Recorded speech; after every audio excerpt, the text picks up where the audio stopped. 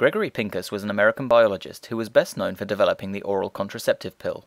Pincus was born in New Jersey into a Jewish family and attended many different universities after his initial bachelor's degree in agriculture from Cornell University in 1924. During his early research, Pincus investigated hormonal biology and produced in vitro fertilization in rabbits in 1934.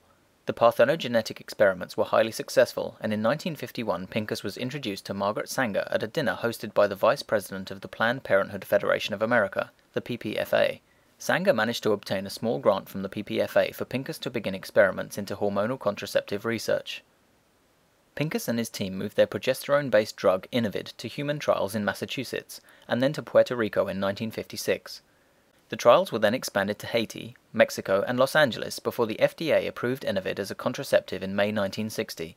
Pincus died in 1967 at the age of 64 in Massachusetts, but the basic form of his pioneering drug has now been developed into a widely available contraceptive pill used on a daily basis by millions of women all over the world.